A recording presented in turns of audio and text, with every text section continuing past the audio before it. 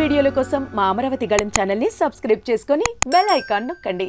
ఇవాళ కేంద్ర ఉక్కు శాఖ మంత్రి హెచ్డి కుమారస్వామి వైజాగ్ స్టీల్ ప్లాంట్ను సందర్శించారు. గత ఎన్డీఏ సర్కారు వైజాగ్ స్టీల్ ప్లాంట్ ప్రైవేటీకరణకు తెరతీసిన నేపథ్యంలో తదుపరి చేపట్టాల్సిన చర్యలపై ప్రస్తుతం కేంద్రం మల్లగుల్లాలు పడుతున్న తరుణంలో వాస్తవ పరిస్థితులు తెలుసుకునేందుకు ఆయన ఇవాళ పర్యటించారు. అనంతరం స్టీల్ ప్లాంట్పై ప్రైవేటీకరణ పేరెత్తకుండానే కీలక వ్యాఖ్యలు చేశారు.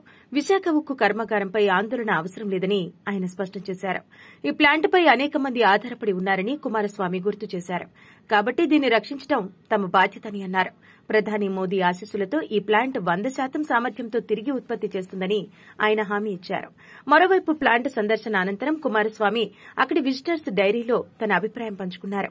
ఈ స్టీల్ ప్లాంట్ సందర్శించిన తర్వాత తనకి ప్లాంట్ దేశ ఆర్థిక అభివృద్దికి సహాయపడుతుందని అర్థమైందని అనేక కుటుంబాల వారు వారి రోజు వారి అవసరాలు జీవనోపాధి కోసం ఈ ప్లాంట్ పైన ఆధారపడి ఉన్నారని ఈ ప్లాంట్ను పరిరక్షించడం మన బాధ్యత బాధ్యత అని ఈ ప్లాంట్ మూతపడుతుందని మీరెవ్వరూ కూడా ఆందోళన చెందొద్దని ప్రధానమంత్రి ఆశీస్సులు సహాయంతో ఈ ప్లాంట్ వంద శాతం సామర్థ్యంతో ఉత్పత్తి చేస్తుందని తెలిపారు.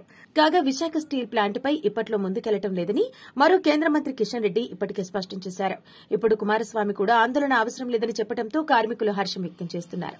విశాఖ స్టీల్ ప్లాంట్పై కేంద్రం తగు సమయంలో నిర్ణయాలు తీసుకుంటుందని ఉక్కు శాఖ సహాయ మంత్రి శ్రీనివాస వర్మ కూడా ఇప్పటికే స్పష్టం చేశారు. తాజాగా చోటు చేసుకుంటున్న పరిణామాలు కార్మికులు ఉద్యోగుల్లో భరోసా నింపేలా ఉండటంతో వారు ఆనందోత్సాహాలు వ్యక్తం చేస్తున్నారు.